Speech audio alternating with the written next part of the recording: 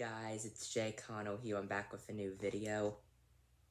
Now, before I get into today's, to today's video, I figured, hey, why not switch locations? I'm in our at-home movie theater here, here at my house. And by the way, I did a tour of the theater like a little while back, about a year and a half ago or so. So go ahead and check it out that video if you haven't yet. And I haven't done a video like this in a while, but it's been a little bit, so I figured, hey, why not do this? Today I'm to give you five tips for starting a movie channel this year in 2023. So starting off with the first one, number one, don't worry if you're not doing as well as you'd hope. Keep working towards those goals. Number two, don't feel the need to have over thousands of views.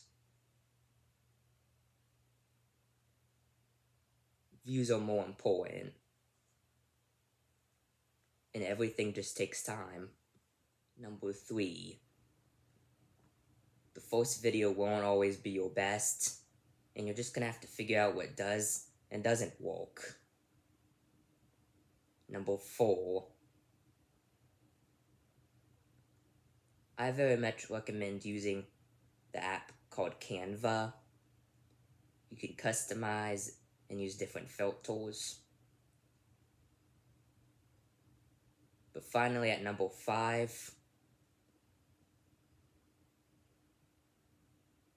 it's much easier watching other YouTubers for ideas.